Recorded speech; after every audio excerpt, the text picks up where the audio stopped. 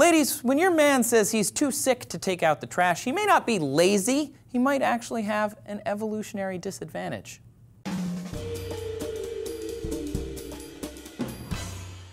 Hey guys and dolls, Trace here for DNews. It's a pretty common trope that a cold or the flu doesn't really affect women as much as it does men. There's even a kind of pejorative name for it, the man flu, which implies that men are just being babies. Now, of course, this is a crazy exaggeration. Being sick sucks for everyone. Except studies have shown this difference in experience may have a hint of truth to it. Empirically, men tend to die more often than women when they catch tuberculosis, and they're five times as likely to get cancer when infected with HPV. There are a whole mess of viruses that seem to be much faster and deadlier in men than they are in women, or they cause worse outcomes. Well, a paper that came out in December of 2016 in the journal Nature Communications studied a phenomenon where a certain virus, called HTLV1, caused leukemia to develop and eventually killed approximately twice as many Japanese men as it did Japanese women. But it affected both sexes equally when studied in the Caribbean. Researchers posited that the biggest explanatory difference was that in Japan, breastfeeding goes on for longer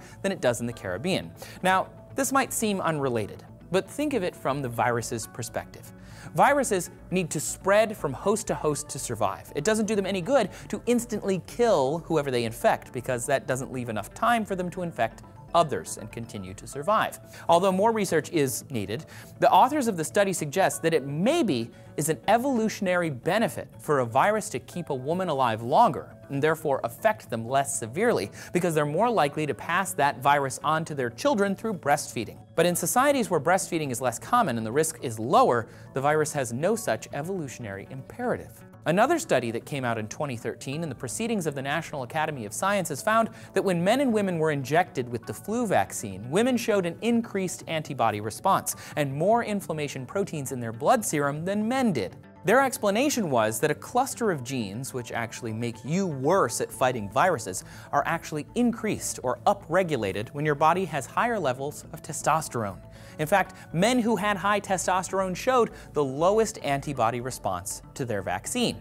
The researchers suggest that while this immunosuppressive response in men does worse when dealing with viruses, it can actually save lives when it comes to bacterial infections.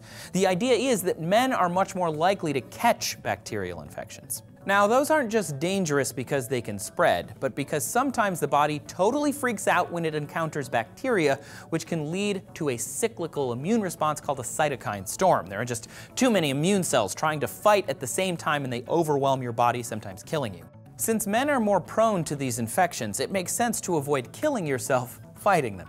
What we're trying to say is both sexes have a lot to deal with, but men, thanks to testosterone, seem to suffer a little bit more when they're sick. So show a little compassion and stop calling it the man flu. It's not just sickness that hits men harder, it's also breakups. Check out this video of myself and Amy laying that out for you. And please subscribe so you get more DNews.